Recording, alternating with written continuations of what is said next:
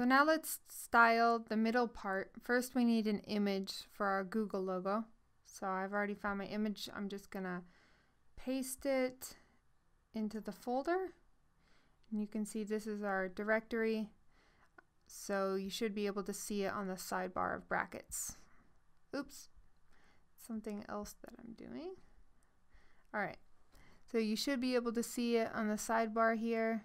You can see that I have my photo. Great. So, so now, if you remember from our index.html, we didn't put anything in the source for the photo. Now that we have our photo, let's just type in the file name. So mine is called google-logo.jpg. Whoa, that's really big. So this, we want it to, oops, to look like this, right?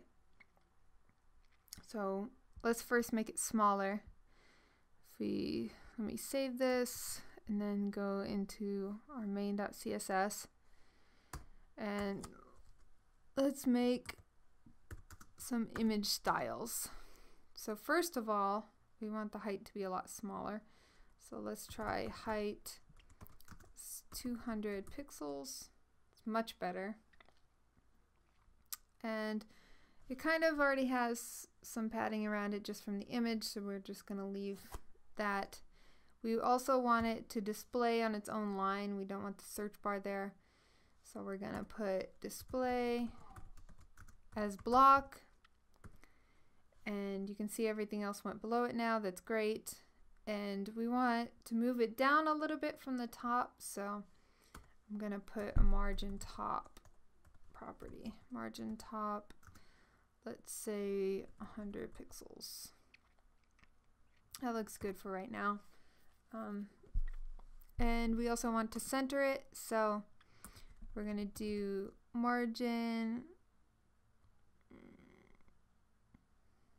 Okay.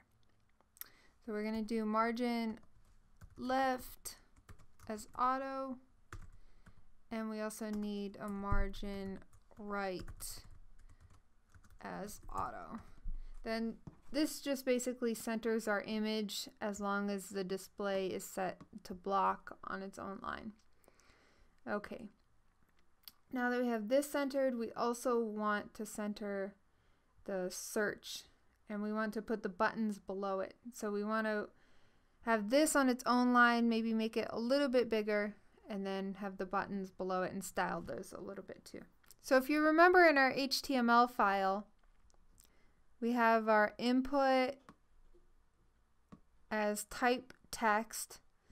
So we're going to reference this by the input type in our CSS. So let's go back. So if we just put our input like this, it's going to reference all uh, everything with the input tag. That would be the the search field and both buttons, but we just want the search field.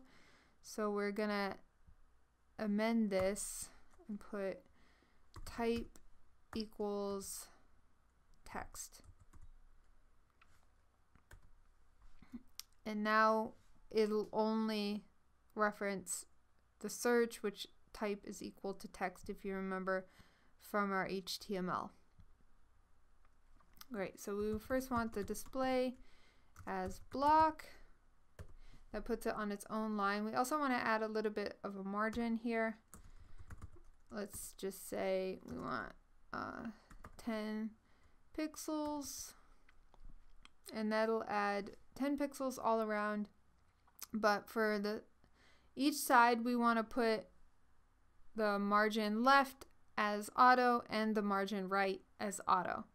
So it's actually a shorthand way of doing this to center it.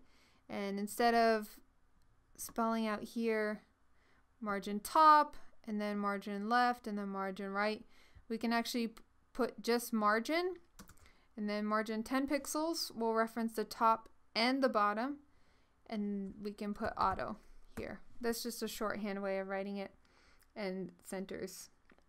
Now we want to make it a little bit bigger, so let's uh, increase the font size inside our search field.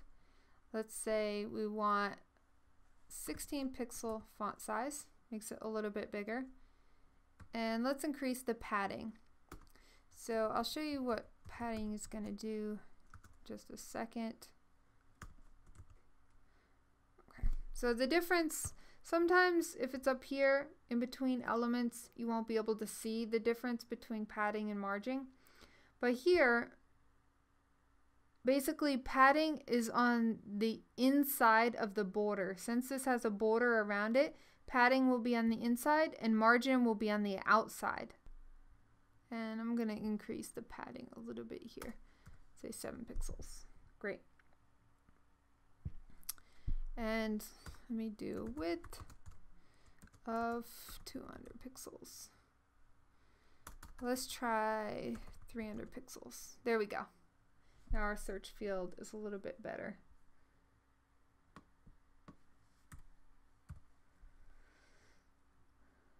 There we go.